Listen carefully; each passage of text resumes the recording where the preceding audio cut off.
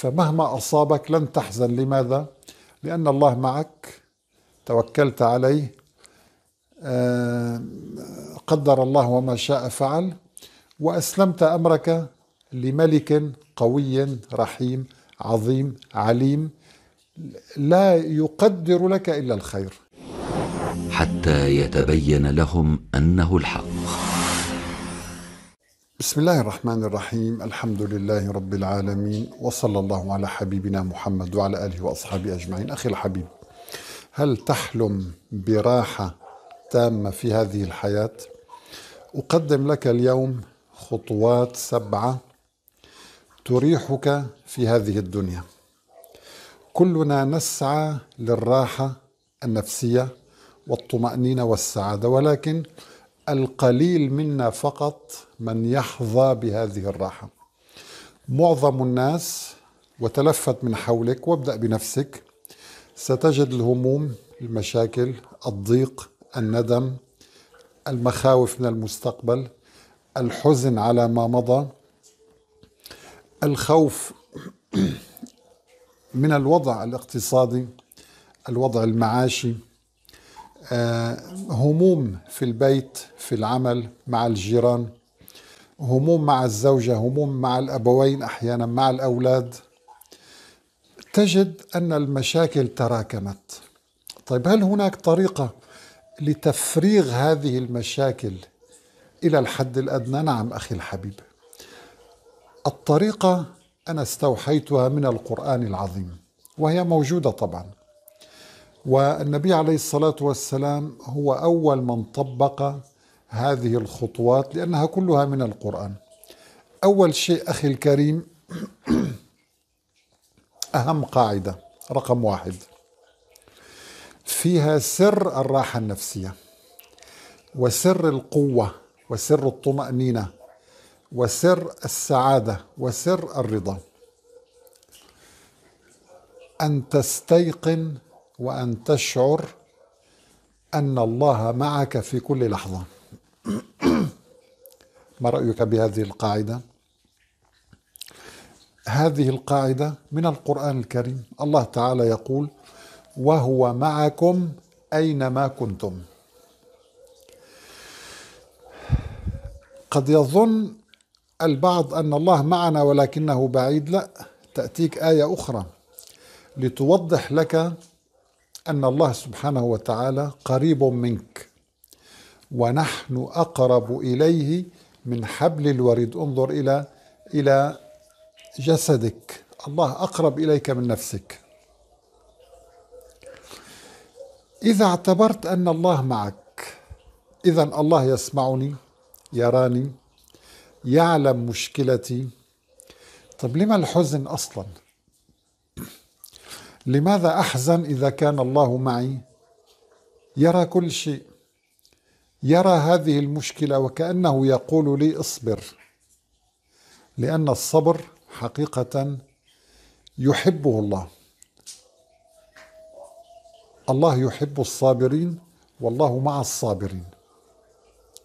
فإذا أول شيء يجب أن تطبقه أن تعتقد وتستيقن في كل لحظة أن الله معك يراك يسمعك يعلم ما في نفسك يعلم حاجتك أكثر منك ولكن أحيانا الإجابة تؤخر لحكمة هو يعلمها فيها مصلحة لك أيها الإنسان المؤمن. القاعدة الثانية أخي الحبيب قاعدة مهمة وضعها لنا النبي عليه الصلاة والسلام. أي شيء يحدث معك مهما كان كبيرا أو صغيرا سواء كان خسارة موت آه، فاجعة آه، ألم مرض فقدان آه، أي شيء تتخيله قل قدر الله وما شاء فعل. هذه قاعدة ذهبية تريح النفس جدا لأن معظمنا اليوم يتألم لمشاكل تافهة. يتألم على خسارة مبلغ من المال. يتألم أنه اكتشف إنسانا أنه يخدعه. هي صعبة ولكن اعلم أن هذا فيه خير لأن الله أراد أن يكشف لك حقيقة من تتعامل معه. قل دائما قدر الله وما شاء فعل. هذه القاعدة ذهبية فعلا. إذا خسرت في تجارتك قل قدر الله وما شاء فعل. وانهض من جديد. إذا أصابك مرض قل مباشرة قدر الله وما شاء فعل وهذا المرض سيرفع درجتي عند الله. إذا أنا سأصبر وسأرضى وأعلم أن الله هو الذي قدر هذا الأمر وهو قدر وشاء وفعل سبحانه وتعالى. قدر الله وما شاء فعل. فهذه القاعدة تريح الإنسان جدا. هناك قاعدة ذهبية ثالثة يعني النبي عليه الصلاة والسلام كان أكثر إنسان طبقها وهي التوكل على الله. كان دائم التوكل على الله في كل شيء. فأنت عندما تتوكل على الله في أي عمل ولنفرض أن هذا العمل فشل أو لم ييسر ما دمت توكلت على الله اعلم أن هذا العمل إذا تعسر فيه خير. هذه العسرة وهذا العسر فيه خير. وإذا وجدت نفسك تذهب في طريق آخر تجد الأبواب مغلقة أمامك أحيانا.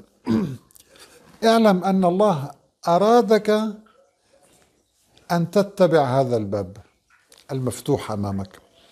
أغلق كل الأبواب لخير أنت لا تعلمه. فإذا التوكل على الله من يتوكل على الله حق التوكل يرزقه الله كما يرزق الطير. انظر إلى الطير. عندما يخرج ليس لديه حسابات ليس لديه تجارة ليس لديه محل ليس لديه مورد يخرج متوكلا على الله. وسبحان الله هناك طيور تبقى ستة أشهر في الجو. الله يرزقها وهي في الجو تنام وتتغذى. وكل شيء. سبحان الله. انظر إلى هذه القاعدة قاعدة التوكل على الله. هناك قاعدة مهمة جدا. طبعا الله يحب المتوكلين. الله يحب من يتوكل عليه. هذه أيضا ميزة لك أنك إذا توكلت عليه فأنت اكتسبت محبة الله تعالى. القاعدة الرابعة أن تسلم أمرك لله. سلم أمرك لله. تسليم الأمر يعني أنت رميت ووضعت كل همومك ومشاكلك وكل الأحزان والألم والمرض وضيق الحال وقلة الحيلة وضعتها بين يدي الله. أن تضع هذه الهموم والمشاكل بين يدي الله.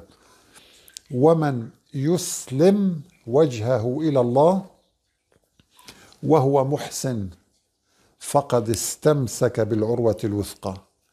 وإلى الله عاقبة الأمور لأننا كلنا سنعود إلى الله سبحانه وتعالى.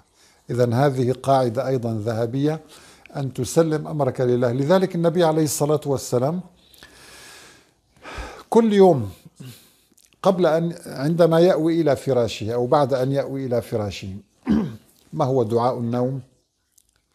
عندما آه، يتكئ أو ينام على يضطجع على آه، شقه الأيمن ويقول اللهم إني توكلت عليك وأسلمت نفسي إليك وفوضت أمري إليك. اذا التوكل والتسليم معا. كل يوم كان يتوكل ويسلم. فيفضل أن تنهي يومك بهذا الدعاء. اللهم إني توكلت عليك وأسلمت نفسي إليك وفوضت أمري إليك وألجأت ظهري إليك. يعني يا رب أنا أريد منك القوة والدعم والمدد و و وأنا التجأت إليك احتميت بك. فإذا التسليم الأمر لله هو شيء يريحك جدا فمهما أصابك لن تحزن لماذا؟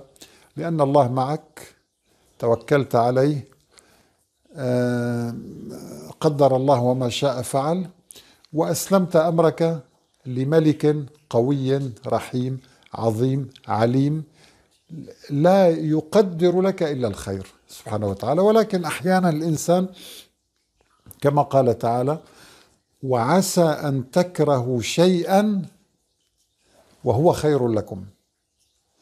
وعسى أن تحبوا شيئا وهو شر لكم. والله يعلم وأنتم لا تعلمون. القضية الخامسة أخي الحبيب وهي مهمة جدا. وهناك أحاديث كثيرة النبي عليه الصلاة والسلام تحدث بها. اعلم أن كل شيء مكتوب. رفعت الأقلام وجفت الصحف. منذ أن كنت في بطن أمك عمرك ستة أسابيع والجنين في هذه المرحلة يكون طوله بحدود واحد سنتيمتر هكذا. لا شيء يعني. كتب أجلك عمرك يعني وكتب رزقك وكتب عملك وكتبت هل أنت من أهل النار أو من أهل الجنة شقي أو سعيد؟ إذا ما دام كل شيء مكتوب لماذا أحزن؟ أنا التجأت إلى الله وتوكلت على الله وأسلمت نفسي وأمري إلى الله سبحانه وتعالى وأسلمت وجهي لله عز وجل. فالآن أنا علمت أن كل شيء مكتوب. بما أن الله كتب علي هذا الألم الذي أعاني منه إذا لماذا أحزن؟ هناك حكمة أن الله يريد أن يغفر لي ذنبا يطهرني من ذنب قمت به. المرض يطهر الذنوب أيها الأحبة البلاء يطهر الذنوب قلة الحال تطهر الذنوب. إذا كان عندك ابن عاق هذا تطهير لذنوبك. اذا القضية الخامسة أن تعلم أن كل شيء مكتوب. والنبي عليه الصلاة والسلام له أحاديث كثيرة جدا في هذا في هذا المجال. ان أن الله أول ما خلق القلم فقال له اكتب. قال ماذا أكتب يا رب؟ قال اكتب كل شيء أو كل ما كان وسيكون إلى يوم القيامة. جلوسي هذا هنا في هذا المكان وكلامي هذا مكتوب. إذا كما قال النبي صلى الله عليه وسلم رفعت الأقلام وجفت الصحف. هذه القضية تريح النفس. أنا شخصيا أرتاح جدا عندما أعلم أن كل هذه الهموم والمشاكل مكتوبة علي فأسلم أمري إلى الله وأرضى بما قسم لي الله وأنتظر الخير. يعني هذه آه، هذه الطريقة في التفكير تجعلك تتفاءل بالخير أن هناك خيرا سيأتي. القضية السادسة وهي مهمة جدا وكما قلت لكم هذا كله مستوحى من الكتاب والسنة التفكير بالموت أن تفكر بنزول القبر. والله أعظم مشكلة تتعرض لها وتستعصي عليك وتظن أن هذه المشكلة أكبر من الدنيا بمجرد أن تفكر بنزول القبر وأول ليلة في القبر سوف تتبخر هذه المشكلة وستصبح صفرا أمام ما ينتظرك في ظلمات هذا القبر. عندما تتخيل نفسك أنك مت ولن يدخل معك أحد هذا القبر ستدخل وحيدا أنت وعملك. وأهم عمل يدخل معك هو الصبر. النبي صلى الله عليه وسلم يقول والصبر ضياء. أكثر ما يضيء قبرك الصبر. فالصبر أخي الحبيب هو آه، علاج هو شفاء. والله يحب الصابرين. والصابر يوفى أجره بغير حساب. انظر إلى إلى إلى عظمة هذا العمل العمل. تقول له الملائكة سلام عليكم بما صبرتم فنعم عقبى الدار. إذا أن تفكر بالموت النبي كان يفكر بالموت كل يوم وكان يقول أكثروا من ذكر هادم اللذات. فعلا الموت يهدم كل لذة. والنبي كان يفكر بالموت. قبل النوم وبعد الاستيقاظ. بمجرد أن استيقظ من النوم ماذا كان يقول؟ الحمد لله الذي أحياني بعدما أماتني وإليه النشور. كان يفكر بالموت. القضية السابعة والأخيرة أخي الحبيب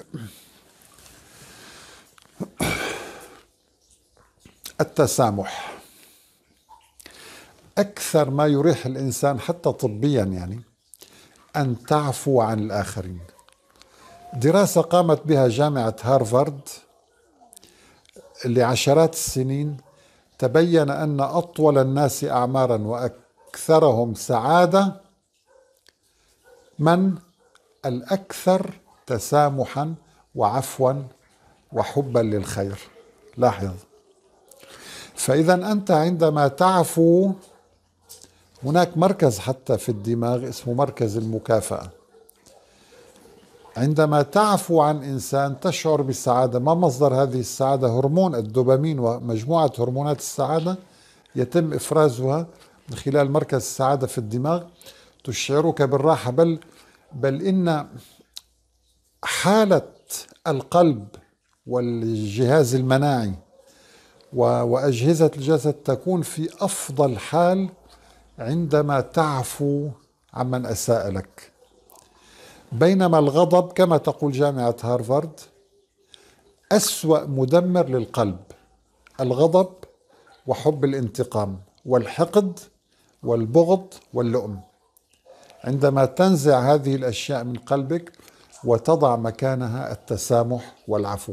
الله تعالى يقول فليعفوا وليصفحوا ألا تحبون أن يغفر الله لكم؟ والله غفور رحيم. نسأل الله عز وجل أن يغفر لنا ذنوبنا وأن يرزقنا الحياة الآمنة المطمئنة. كما قال تعالى من عمل صالحا من ذكر أو أنثى وهو مؤمن فلنحيينه حياة طيبة ولنجزينهم أجرهم بأحسن ما كانوا يعملون.